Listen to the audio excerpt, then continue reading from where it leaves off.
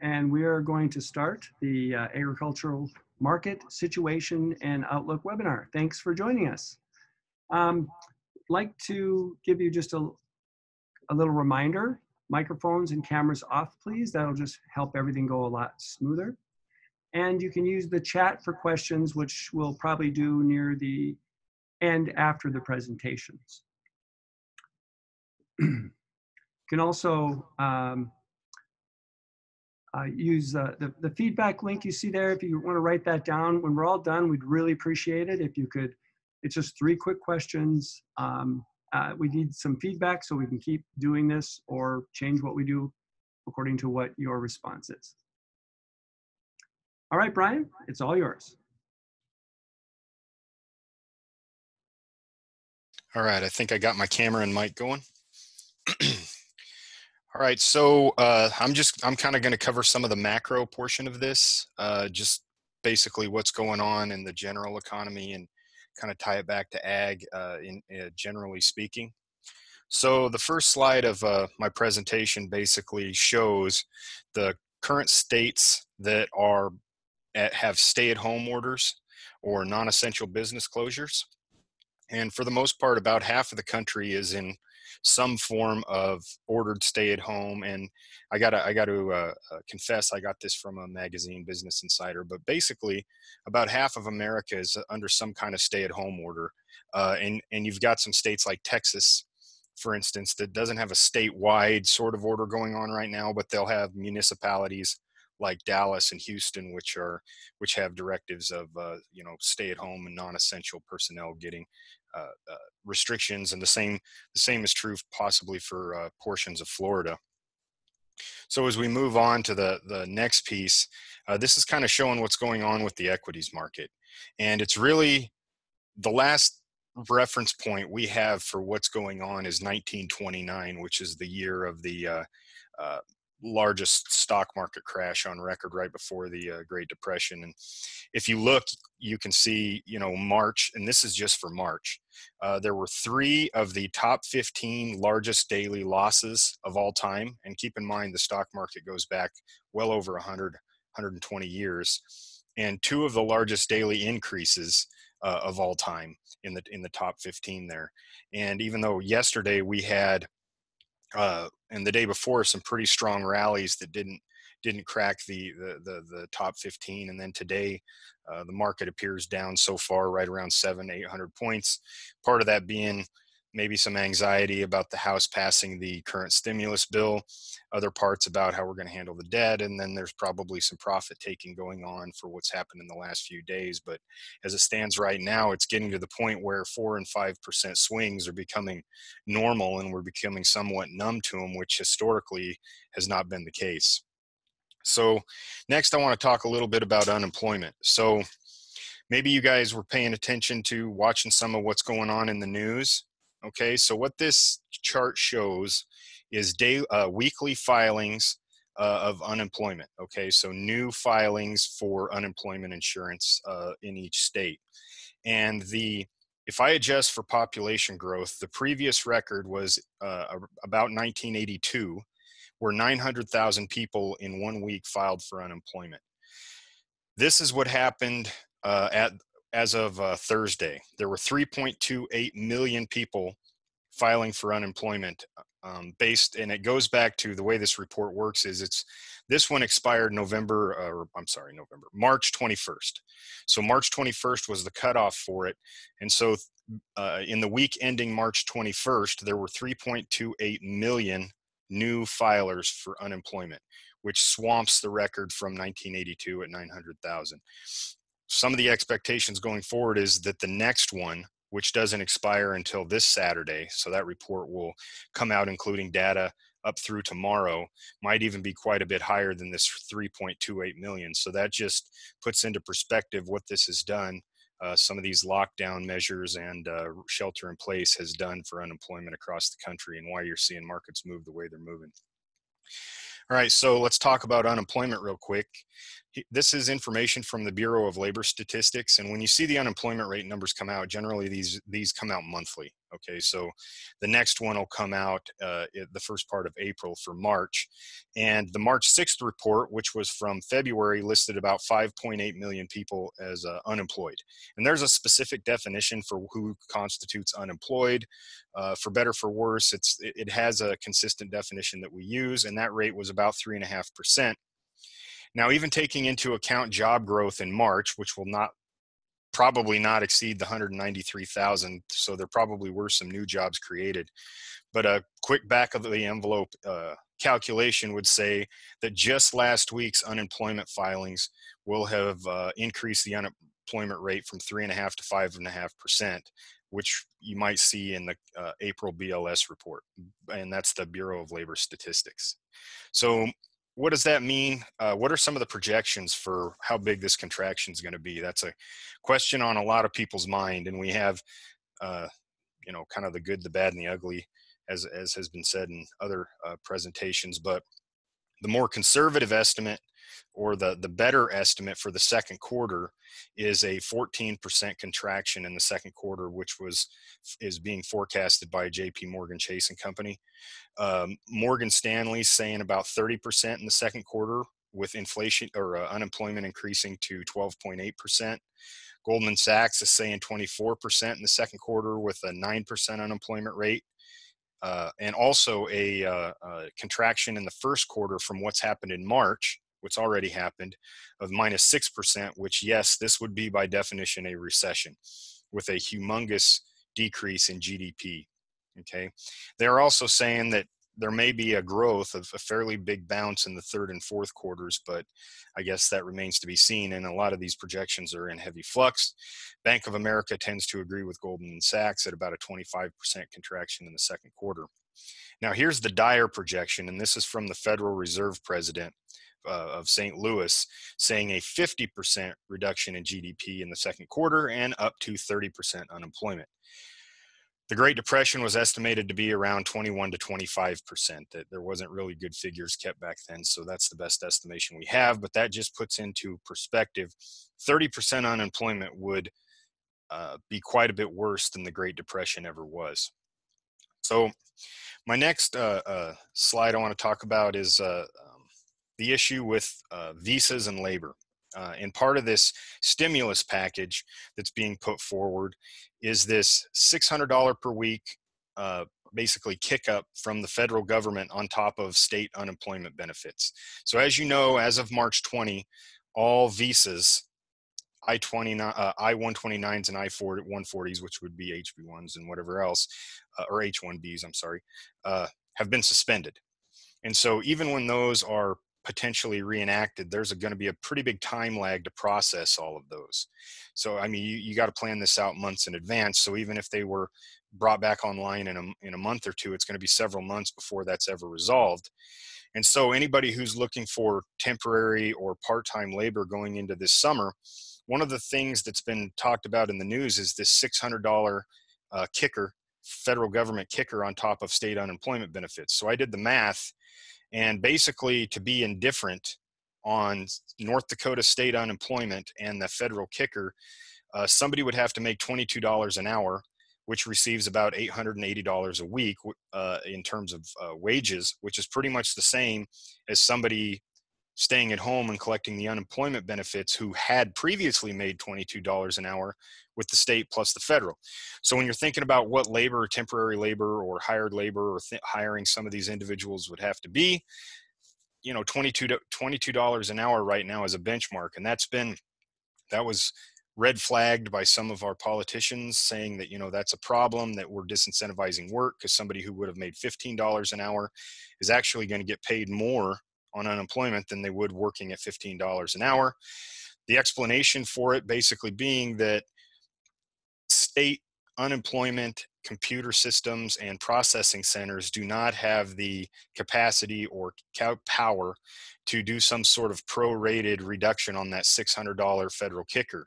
So as a result, they just make it a blanket payment uh, so that they can get it out quickly and they acknowledge that this moral hazard exists. Uh, with the idea being that, but they still need to get, they still want to get this money into their hands. And so you can kind of do it quickly or you can do it accurately, but right now we can't do both. So quickly was what was opted on. So the next portion, I just have a few slides on um, the exact language for the agricultural portion of this. And I'm only uh, having them displayed for a few seconds each. So if you want to go back and read the bill's exact language, here it is.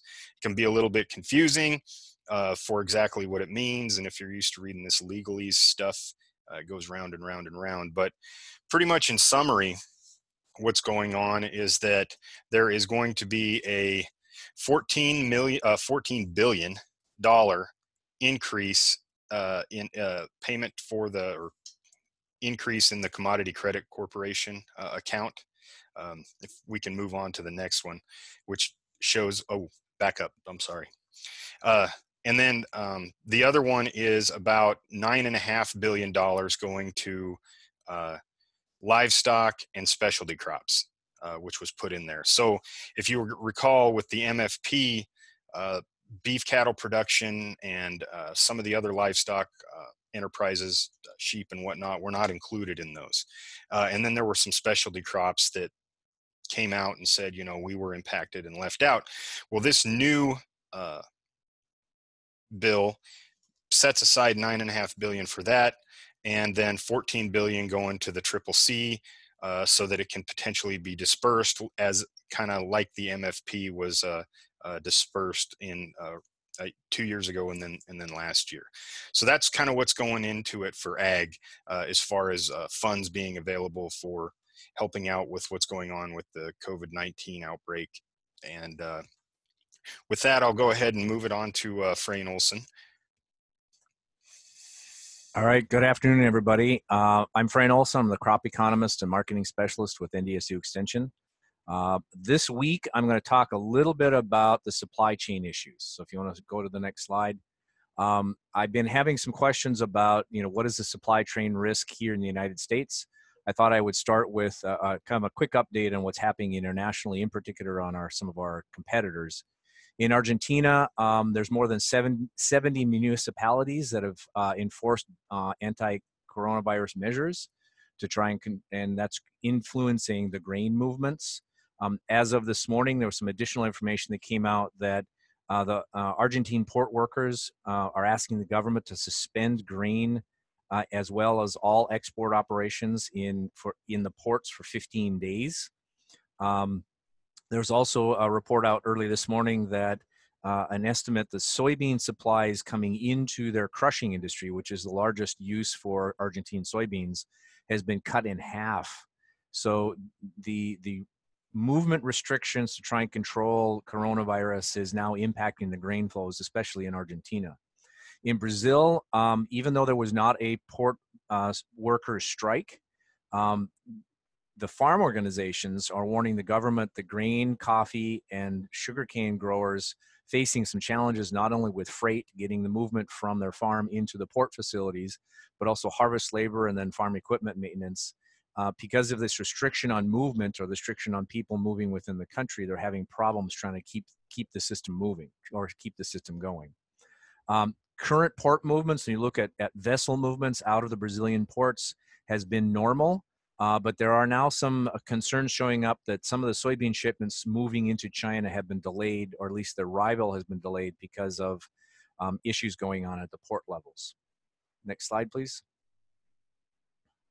If we look at what's happening in the US, because the question is, well, is this going to happen in the US? Is this something we need to be concerned about? And obviously, everybody's trying to watch that very, very closely. Um, in the United States, um, the uh, the Homeland Security has come out with a definition of what they consider essential and critical infrastructure workers. Food and agriculture is, is part of that. I have that circled, as well as the transportation system.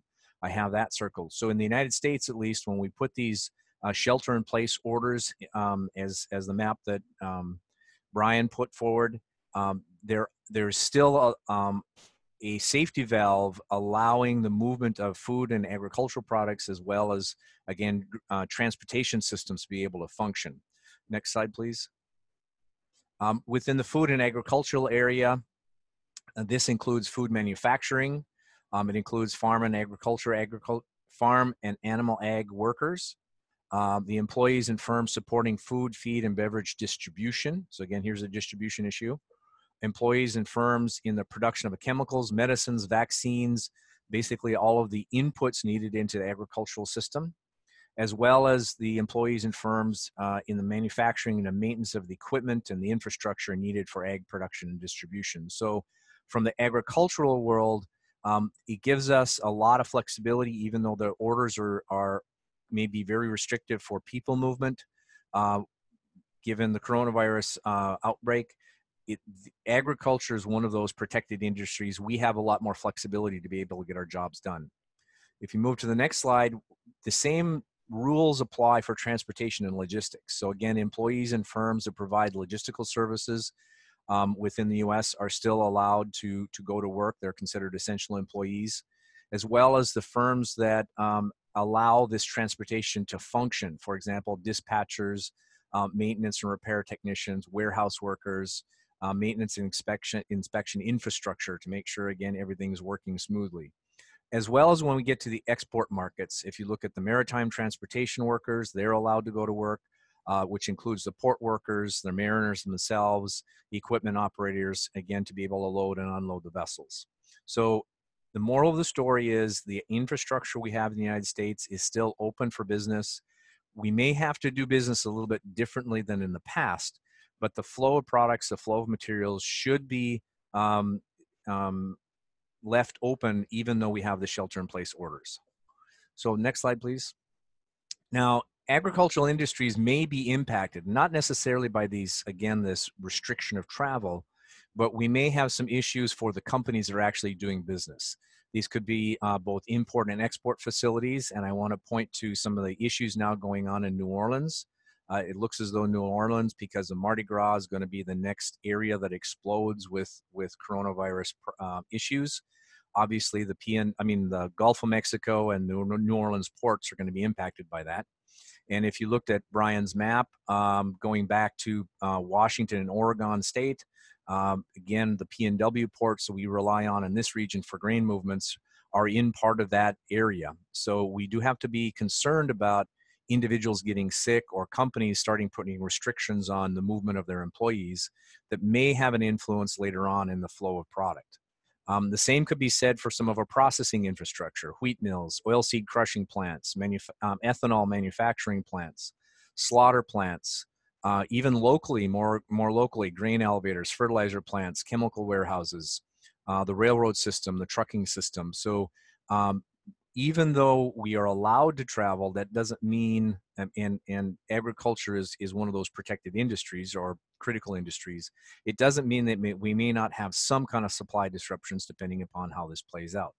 So each company is responsible for setting their own protocols, um, not only with employee interactions, how whether they can work at home or not. And again, in a lot of these businesses, the employees do have to report for work to get their job done, but also the steps that they're taking to try and sanitize the facilities. Um, there's been adjustments in how they interact with customers and again, for some farmers that are delivering directly to some of these processing plants, they may notice a difference in in the process or the steps they need to be able to go through and and get weighed and unload their their trucks and, and move on um, back home. Um, and again, the work at home restrictions or, or requirements in some cases that some companies are now putting into place. So when we look inside the companies, and I just want to bring this up because a lot of people don't think about you know they look at what's happening outside the company and and are are are the products that I need going to show up in time. And a lot of that will then again depend upon how the companies internally deal with this. So the two biggest things that when you talk to the people in the industry or talk to in, uh, company leaders saying how are you dealing with this? Are we going to have problems? Are we going to have disruptions? A lot of it comes down to the spread of of the covid-19 between employees and customers so again, obviously you don't want to have any kind of um, transmittal between in customers and employees and vice versa. So the receiving, the shipping, the handling systems have been changed. The, the processing within the, the organizations or these companies are shifting to try and reduce the likelihood somebody will get sick. Um, also then the spread within the company. And one of the big concerns right now is employee absenteeism, where people will, will either feel sick and they say, all right, well, I'm going to stay home, whether they're able to get tested or not. But all of a sudden, that employee isn't at work, and how do we try and backfill that position, uh, whether it be short term or long term?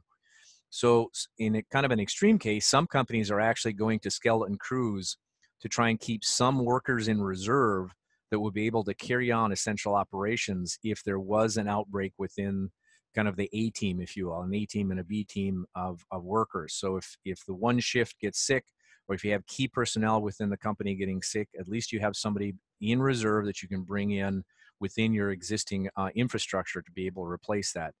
Because anybody that's worked with uh, temporary employees knows that there's quite a, a, learning curve, a training curve to be able to get new people in, onto line. Next slide is for Tim. So I will hold my questions until later. So Tim, you're up. Good afternoon, everybody. Tim Petry, Extension Livestock Marketing Economist.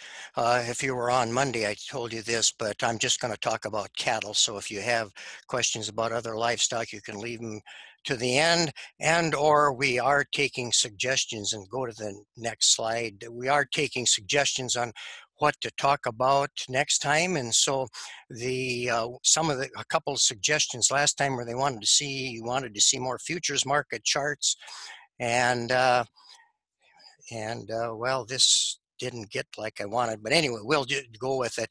Uh, uh, this is the April feeder cattle futures chart and then the which is the high low and closes the black line there and then the CME feeder cattle index chart is the green line and um, so uh, again some of you maybe aren't re real interested in the futures but this was a request.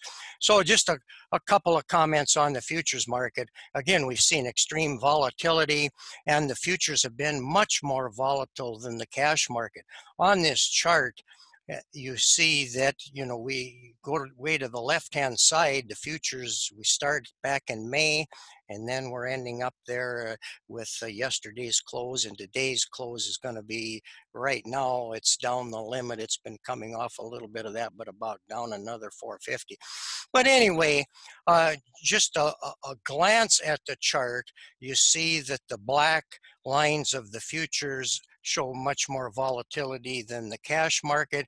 In fact, the futures market has went uh, was as high as 157 on the left hand side, and here in the last uh, couple of weeks down to 133. So uh, or, or 157 and down to 107. So that's a $50 range. While the range in the green line, the CME cash settlement index has been half that, just $25. What the CME cash index is, is again, uh, last time I talked about that we uh, have USDA market reporters at four markets in North Dakota. And so we take uh, the information from all seven to 899 pound uh, steers from North Dakota, South Dakota, all the way down Texas, all the other markets. And this is all transparent on the CME website. It lists the market, how many are sold that day. And then we come up with one average price for the day, which is the average price for US. Okay, that's the green line. So that's varied about $25. And so again, we had some events occur early on, We on the left-hand side of the chart. Uh, we went down last spring uh, about $20 because of the corn planting issues that we had and corn went up a, a dollar or so but then corn fell back down as after we got more corn in than originally thought.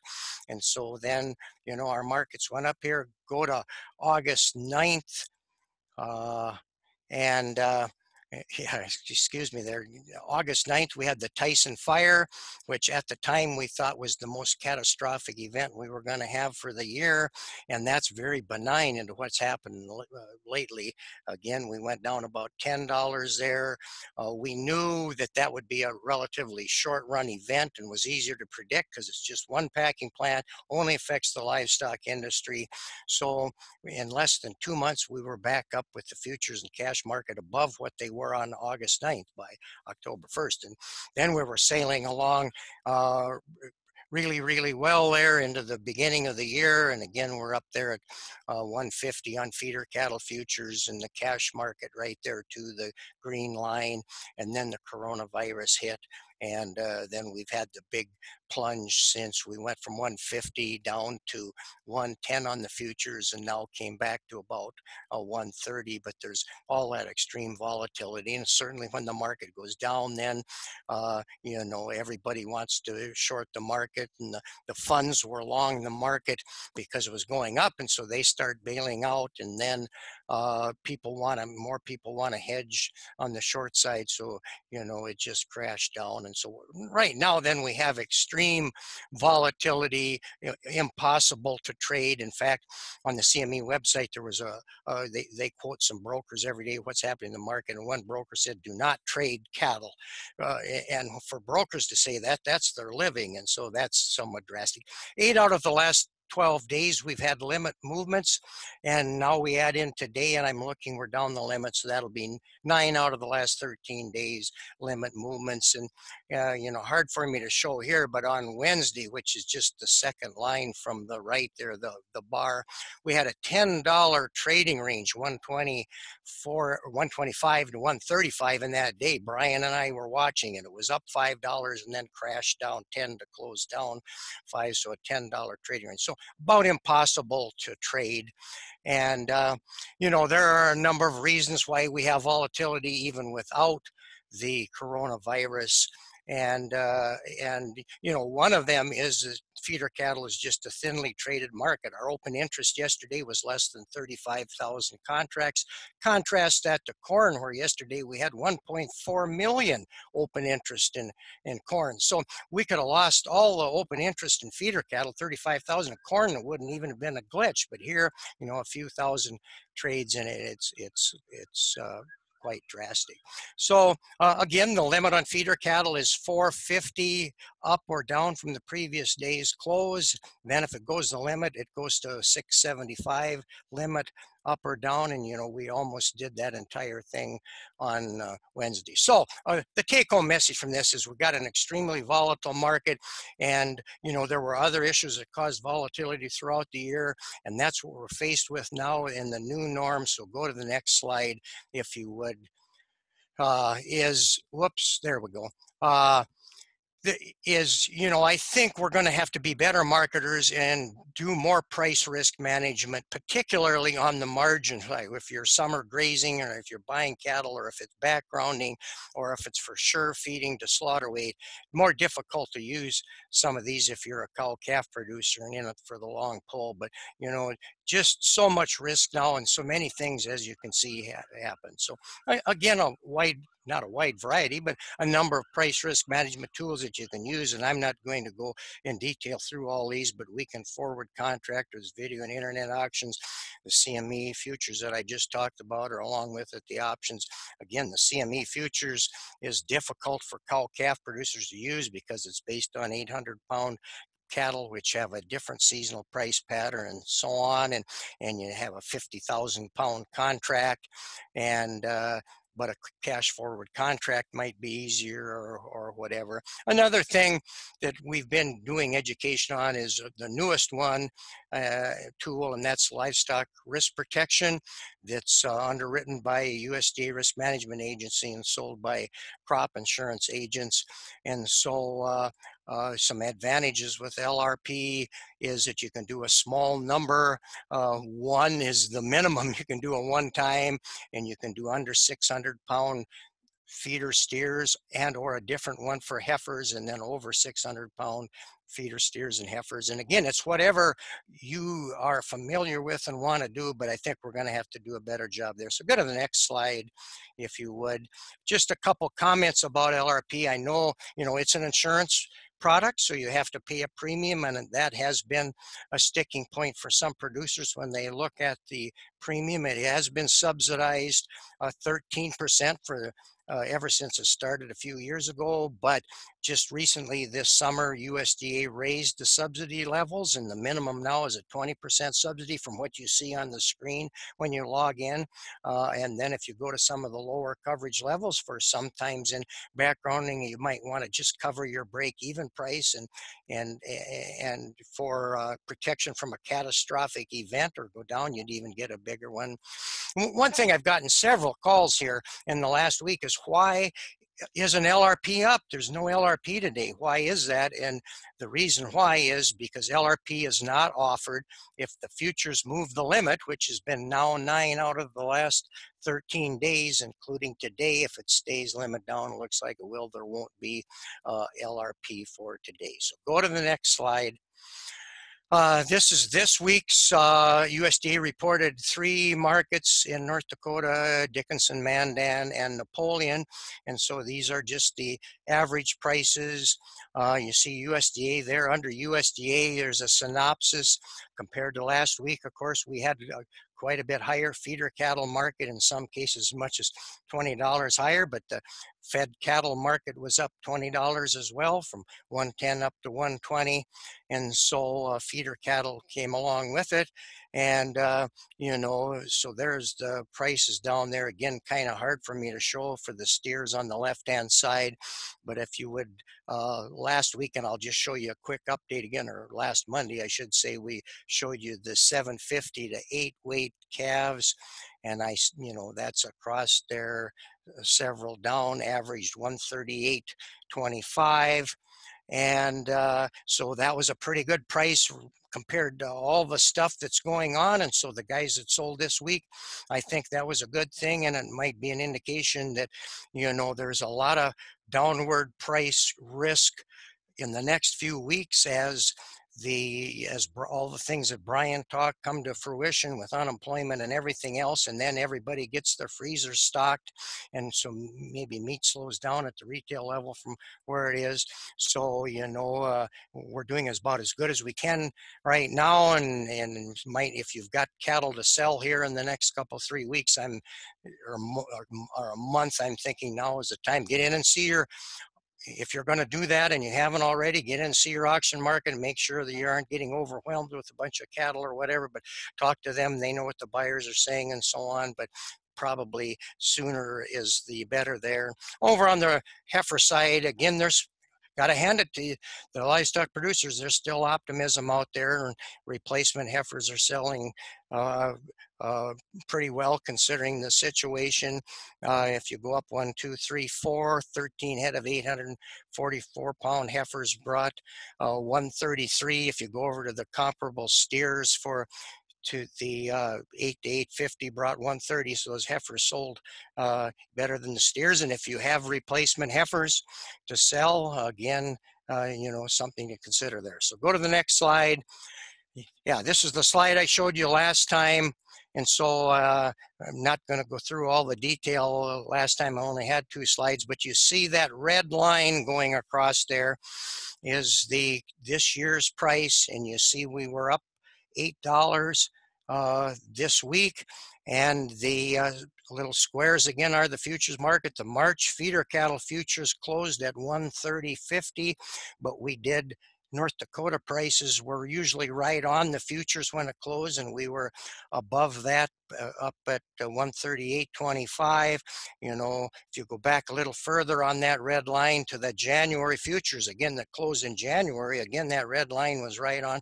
So that's just kind of another indication when our cash market is the, the March future cattle closed yesterday. So now we're looking at the April futures. That's another indication that the market is wanting cattle now. And, you know, the, uh, feedlots in Nebraska have a lot of corn, high moisture corn in bunkers, and there's only one thing they can do with it, and that's feed it to feeder cattle.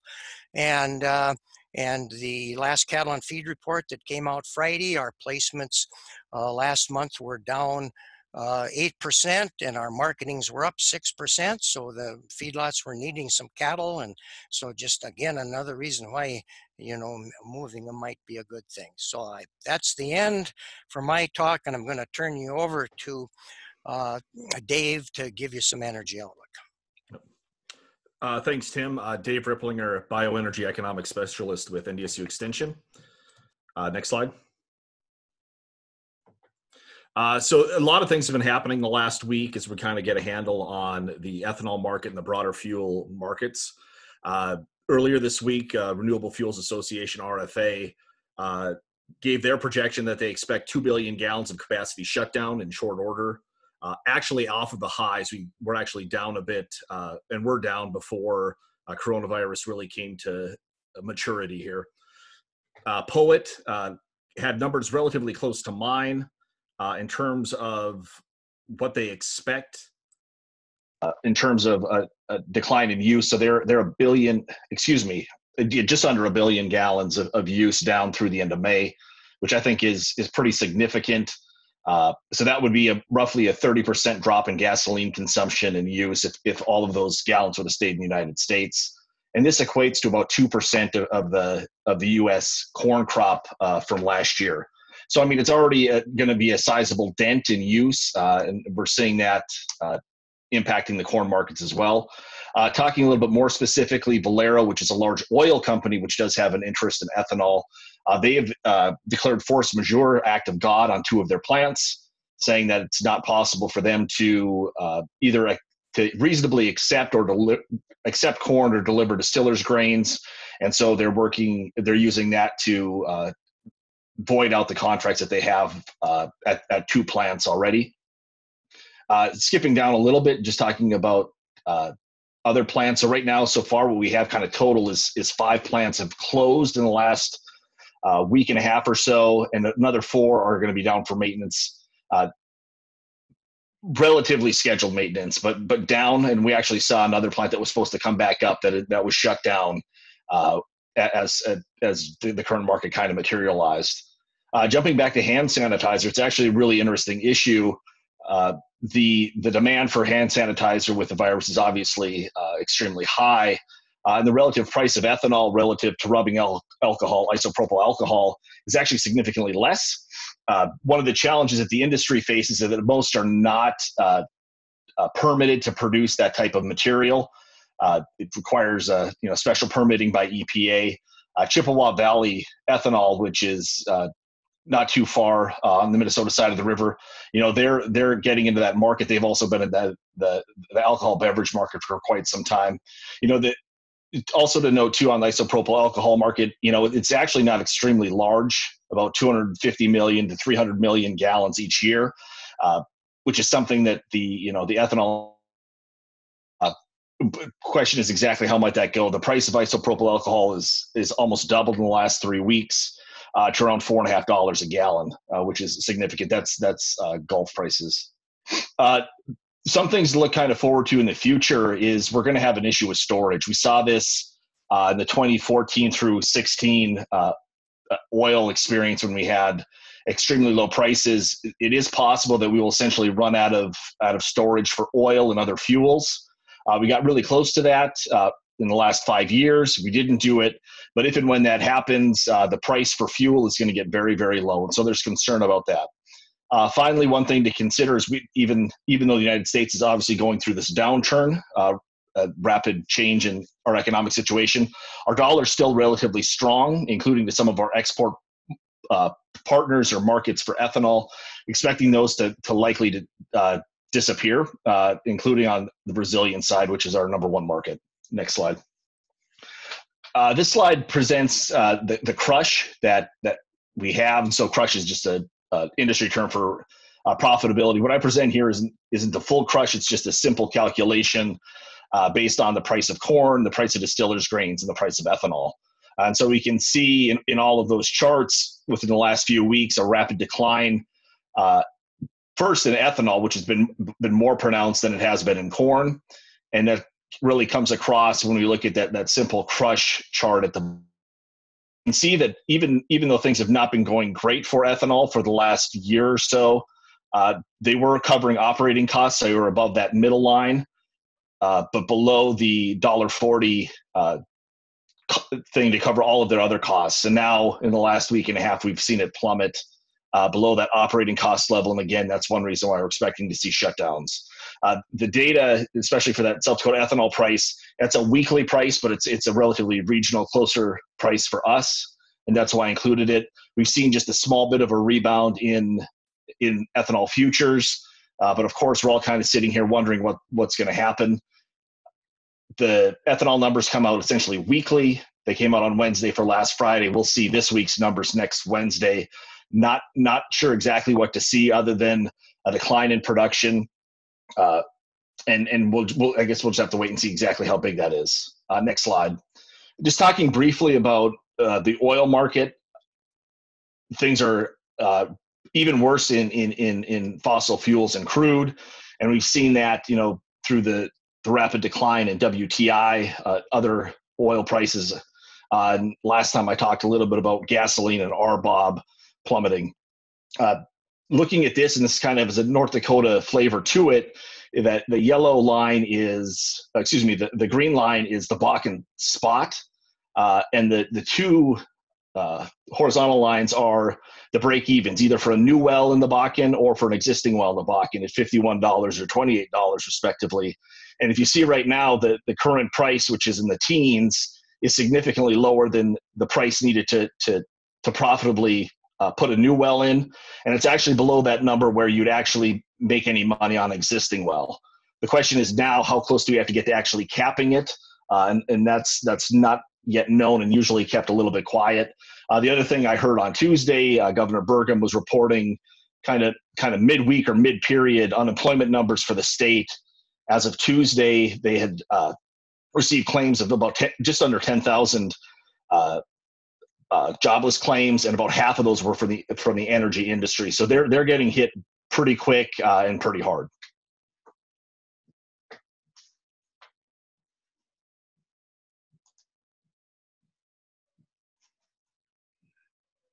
All right, thanks, guys. Um, uh, let's do what we did last time, and what you heard from maybe your other colleagues. Does that strike up any comments that you guys have before questions start to flow in? Uh, that, and that's what I had. So, uh, Bruce or Scott, if you want to start managing questions.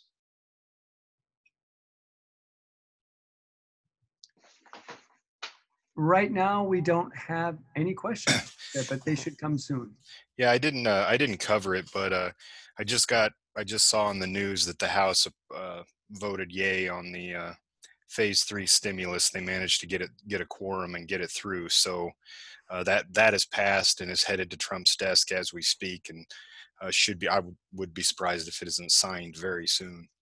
Um, and again, I didn't cover portions of the stimulus. The payments to individuals that's coming and things like that because we get a lot of that in the news if you have any questions over the stimulus package in general i can be happy to take those too we have a question would red trail energy close uh, it's certainly possible um, they're they currently have a, a, a, cash bid today which is just under three bucks which to me would say that they're uh, definitely in it in the short run um, the economics again if there's if there's two or three billion gallons of capacity that have to come off, offline, uh, you know, we, you, do definitely start looking at at at, at shutdowns and, and, and possible closures. Um, but for right now, for for Red Trail, they they are they're buying corn and they're they're not accepting delivery uh, middle of this week, late this week, but you know they're they're still kicking. Yeah, and the same for for Blue Flint and Spiritwood. Um, it, it, it's certainly a possibility. Um, you know, and we did see, you know, kind of rapidly, uh, you know, Valero make their announcement, the Andersons, which is a, a group based in the Eastern Corn Belt, make their announcements. Uh, and, and, really, it, it's, it's a question of how quick do other uh, ethanol refineries come offline? Uh, because again, we just have significant overcapacity. And if we continue to produce, if, if folks don't uh, don't shut down, at least for some period of time, we're going to see stocks rapidly build and you know that'll that will compete with oil and gas storage and and, and lead to a an even worse situation in, in the upcoming weeks.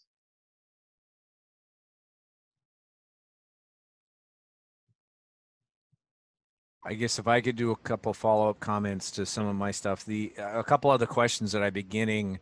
Um, one of them would be the supply chain for, let's say, fertilizer and and chemicals this spring. Um, is there with uh, again the lockdowns that are going on? Is there going to be a problem there? And, and the short answer is in the short term, no, uh, because most of the fertilizer that is going to be needed for Springs Works is already in the warehouse. Uh, a lot of the, the chemicals, uh, pre-plant chemicals, as well as the, the chemicals we'll be spraying for weed control this summer, are most of that is already in inventory as well. Um, and again, uh, agricultural and, and transportation are essential services. So the things that are in, in route right now should make it. Um, the other question I've been getting is, well, what about product flow between the United States, Canada, and Mexico? because again they've basically closed the borders. Uh, the closing of the borders again was tr- trying to prevent the movement of people uh, because agricultural products are again essential services, not only in the United States but also declared in Canada and Mexico. Um, agricultural products have the freedom to move across borders and to be able to use the checkpoints. Again, still have to have the paperwork, you still have to have the proof, uh, but there should not be any restriction of flow of product uh, uh between, at least in the northern hemisphere here, between U.S., Canada, and Mexico. So, which is which is a good thing because Mexico is a big buyer of a lot of our grains and meat products. Looks like we have one more question here. How will low oil price influence the North Dakota state budget? Yeah, and I'll touch on this. I, I know Frayne uh, spoke on it a bit on Monday. Uh, you know, th- there's a couple of different effects of low oil prices on, on, on state tax revenues, especially. Uh, you know, first and foremost, you know, we do uh, receive a significant amount of royalties, which are put primarily into the legacy fund and other trust funds for the state. Uh, so that's the, probably the, the biggest immediate impact. Uh, in addition to those, a lot of sales tax revenue in the western part of the state is driven by oil activity directly. Uh, and so that'll be a hit. And then you also have these other reverberations through the general economy, which would end up hitting sales tax. Uh, and so, I mean, I, I think it's to think that things will at least be as bad as they were from 14 through 17, 18. Uh, that would be the first reference point. Uh, but again, it, it really depends on how long things persist. And this really isn't, and I didn't speak about it today, this is somewhat driven by coronavirus and the econ- the economy and how it's doing generally, which has a relationship with with fuel use. But even more broadly, as we have uh, a, stalemate or an issue with other oil producing countries who have essentially decided that they're going to overproduce to you know damage, hurt, to create certain desired outcomes. Uh, and so if they stick to that, so OPEC countries, Saudi Arabia, Russia, the OPEC plus folks, you know, if they stick to that, you know, we'll, we'll, we could see these these low prices for for a number of years, essentially until the bigger players realize that it's not in their best interest uh, to keep their foot on the pedal in terms of supply. And again, as they do that, again, because they kind of throw economics to the wind, you know, other folks are going to shut down, and that will likely be U.S. shale.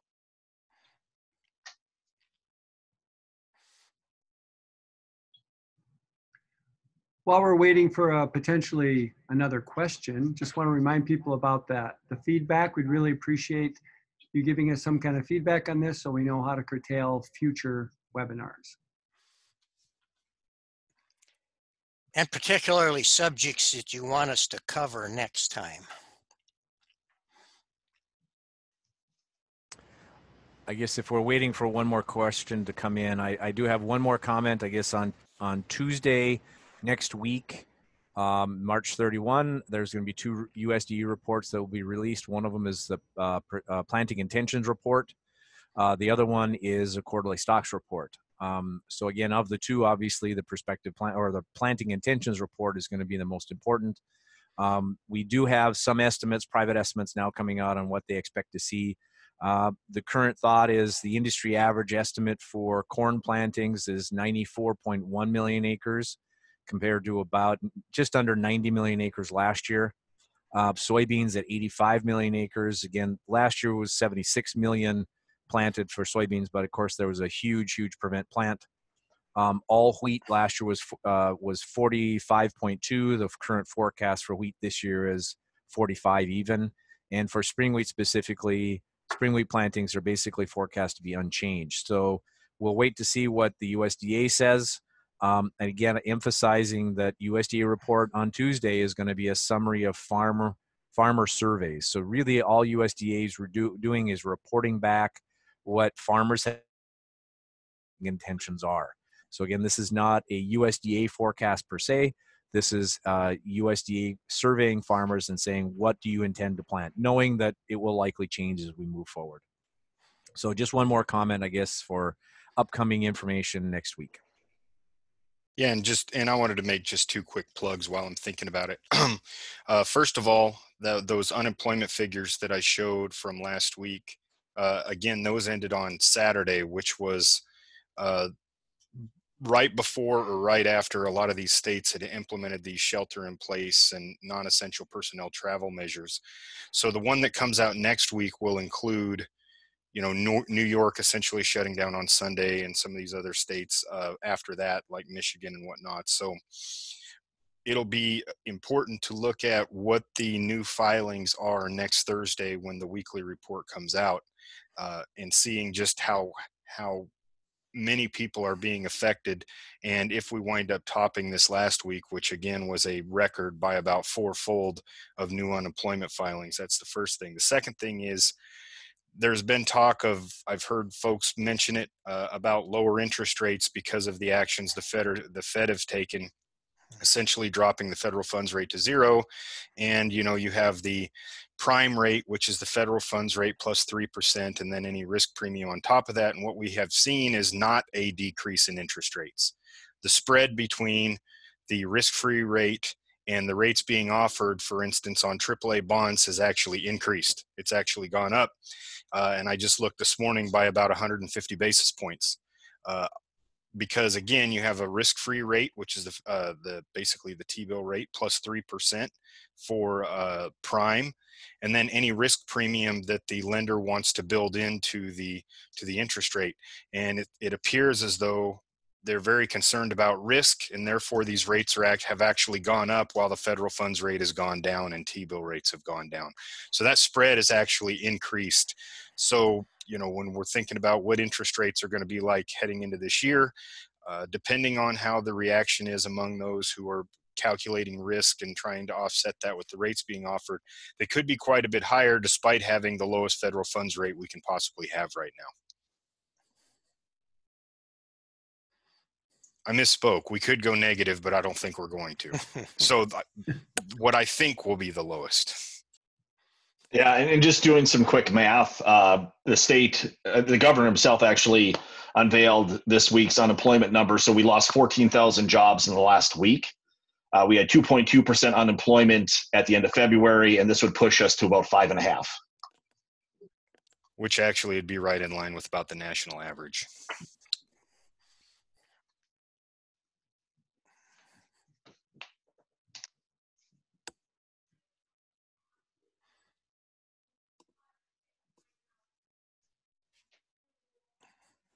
Well, it looks like that might be all the questions. Thank you so much, guys, for the great information, and thanks for people who uh, tuned in. And just a reminder that we do have this. This is recorded, so you can share it, or if you like to see it again, as, as well as that remind you about that feedback. So thank you so much, and we look forward to this again next week, maybe the same time, right, guys?